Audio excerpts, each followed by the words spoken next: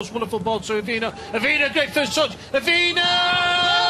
What a goal for Bayern Munich. Just when Salzburg are looking dangerous, Bayern Munich on the counter attack, and Avina gets his first goal of the competition. Yeah, he looks lively. Uh, through one on one with the goalkeeper. Keeper comes out. A lovely little dink over the keeper into the net. 1 0 to Bayern Munich when really Salzburg were going down the other end. Next minute they just caught them straight on the break. But here it is there. Keeper All comes oh, out. about the first touch, Nick. He just knows what he's doing.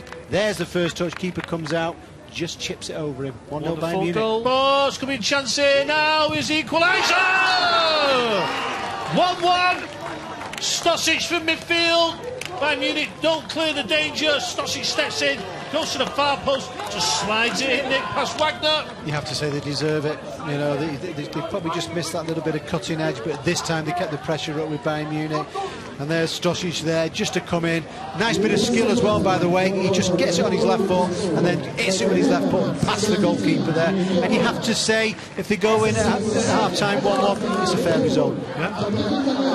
Fine finish from Stosic in the 43rd minute, brings his side back into the match. Hit the post for Red Bull Salzburg. These are the things what, when, when tight games like this, you know, you've got to work on your free kicks. It's a strange one, and he ends up in the back of the net.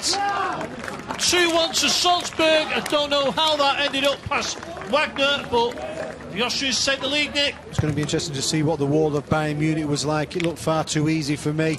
He just goes and pretty much side foots it in with the with his right foot. Keeper sees it late.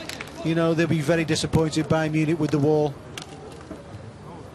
Goes, goes around the wall. Should never happen, Chris. That. You shouldn't be able to pass it in. Where's your wall? Wagner's taking a chance there. Steps to his right. The German keeper, next. he's too far over. He is, but the wall really has to be covering it. I mean, look.